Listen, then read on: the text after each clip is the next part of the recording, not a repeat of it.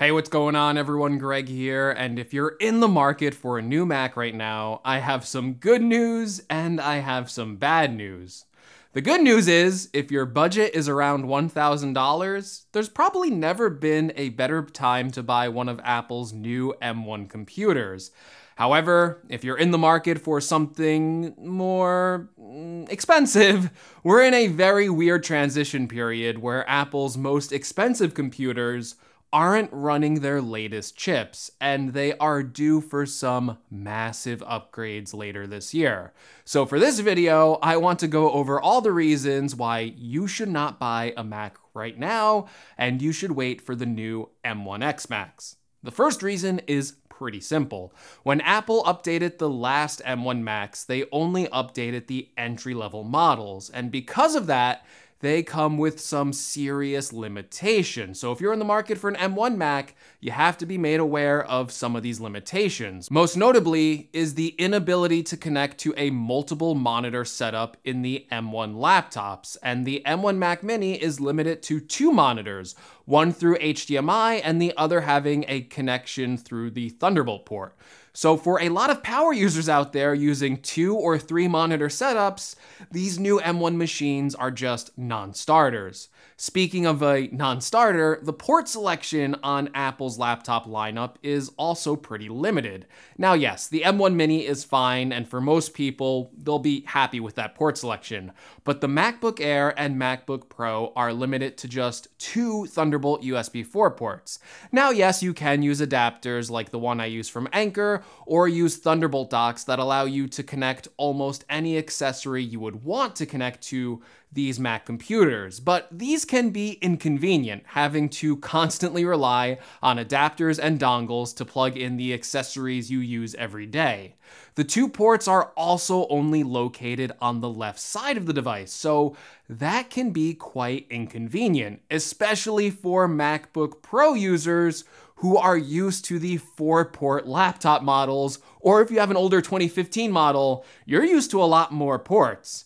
Now, while the next MacBook Pros are almost guaranteed to have those four USB-C ports on both sides of the device, and they're probably going to be able to hook up to more than one external monitor, we're also hearing through the rumors and leak mill that Apple's next laptops will actually come with a significant increase of port options, with multiple sources from Mark Gurman to Ming-Chi Kuo saying that Apple's beloved MagSafe charger will be returning. Not only does that mean a dedicated charging port that will no longer take up one of your very precious and very limited USB-C connections, but it also means a safer way to charge your laptop and no more worrying about you tripping over the cable and sending it crashing to the ground.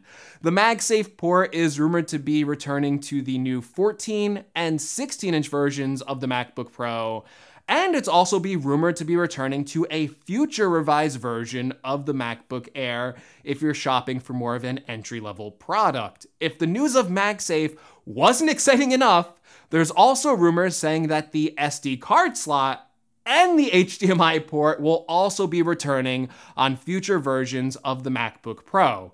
This is returning a lot of the ports that Apple ditched from its 2015 version of the Retina MacBook Pro, and it stands to reason that waiting for a new Mac laptop means even more port options in the future. So if you're used to having a lot more ports, or you just want more ports and you don't want to deal with the limited two USB-C ports on the latest M1 Macs, you should wait for these next laptops. There's also substantial visual upgrades coming to the MacBook Pro, which will be slightly redesigned to take cues from the recent iPad Pro and iPhone 12 design language.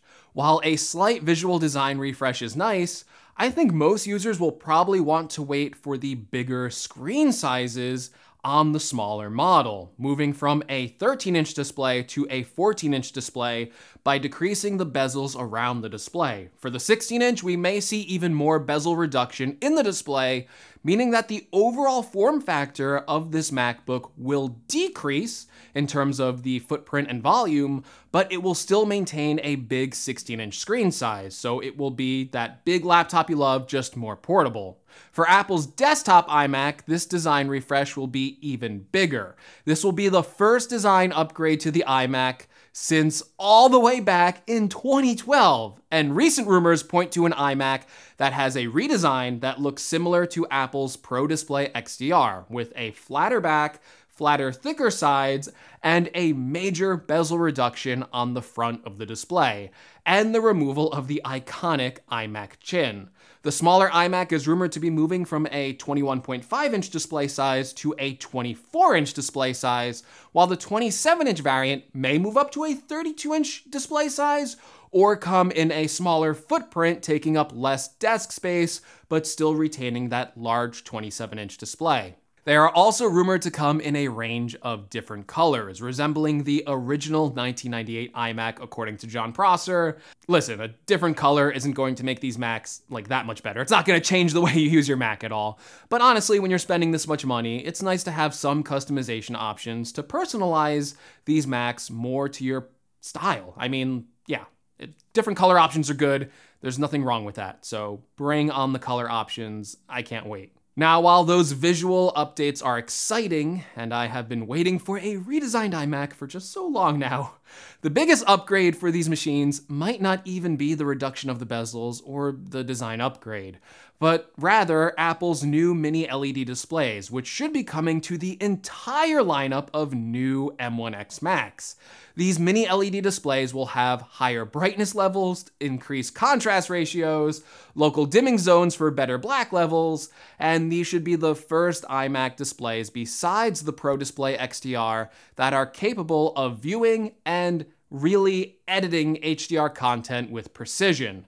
These display upgrades should be a massive addition for content consumption with watching HDR videos on services like YouTube or Netflix or Apple TV Plus, I guess, but also for video editors like me working with HDR footage. For example, Apple's latest iPhone 12 series shoots Dolby Vision HDR video, and on the current Macs, you can't really properly view those HDR clips in all of their glory in video editing programs like Final Cut Pro. So I think a mini LED display would solve that issue, and a mini LED display would be one of Apple's biggest display upgrades to the Mac since the introduction of the Retina display. But perhaps the biggest reason why you should wait for a new Mac has nothing to do with how it looks, but how it performs. And while Apple's first version of the M1 really blew me away, it stands to reason that their second attempt will be even better. This was just the starting point for them.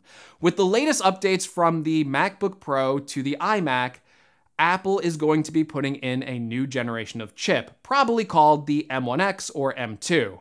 Now, while the single core performance of Apple's M1X chip should pretty much be the same as the current M1 chip, the M1X will gain a huge boost in multi-threaded CPU performance, and based on leaks, the M1X will be gaining double the amount of high performance cores of the M1 chip, and bringing the total processor count to 12 cores when you combine the 8 performance cores with the 4 energy efficient cores. This is the type of performance that should make these Macs some of the most powerful ones yet, and only truly outclassed by extremely expensive 24 and 28 core Mac Pros. A laptop beating the performance of a Mac Pro.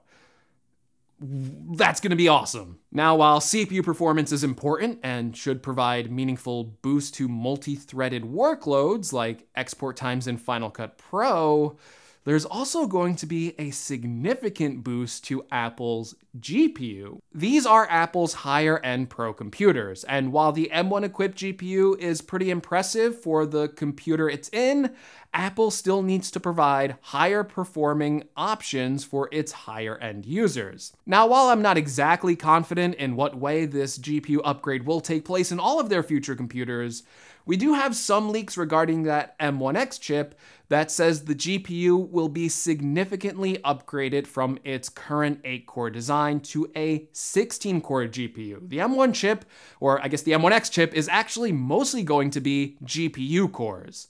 This increase in GPU cores would mean that the internal GPU of the M1X could be enough to begin to rival certain dedicated classes of graphics cards. So if you rely on a more powerful GPU, waiting will be beneficial. There's also the RAM limitations on current M1 Macs. with all of the models only going up to 16 gigabytes of unified memory. Newer Macs should have at least the ability to have configurations up to 32 gigabytes, and maybe all the way up to 64 gigabytes of memory. Storage options will also increase. Now, while the current M1 Macs max out at 2 terabytes of storage, and honestly, that's probably enough for most people, uh, the newer Macs will have higher storage tiers, which will be good for higher end users that rely on big internal storage drives.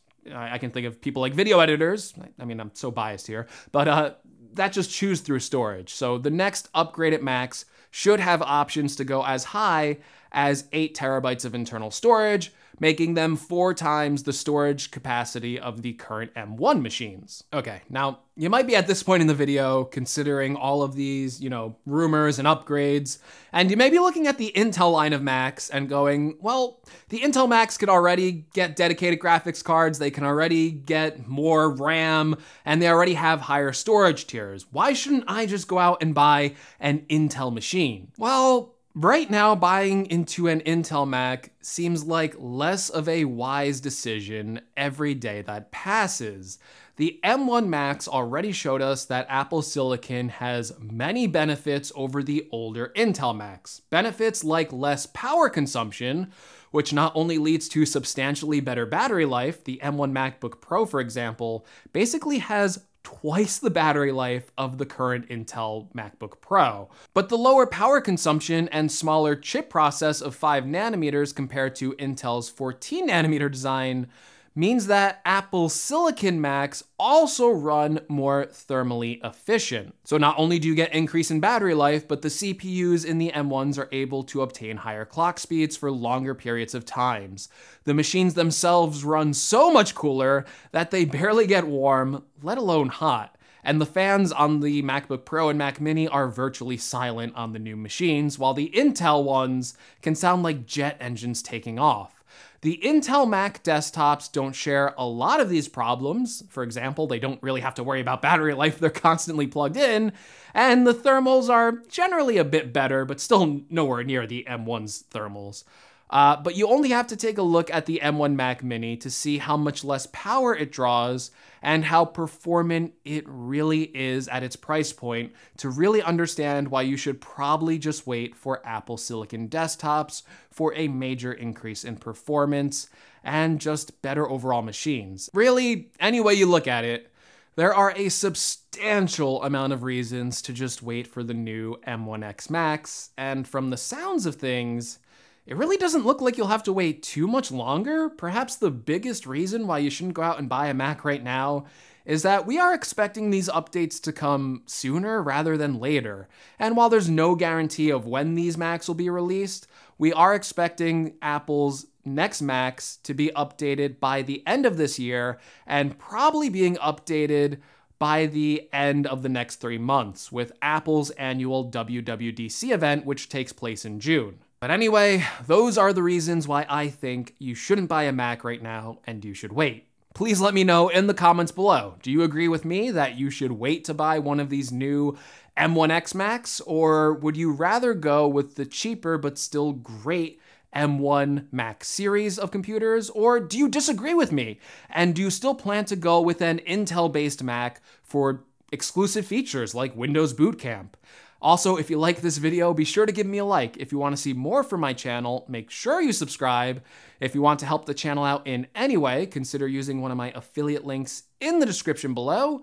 And as always, thank you so much for watching, and I will see you all, hopefully, in the next video. Take care, everyone.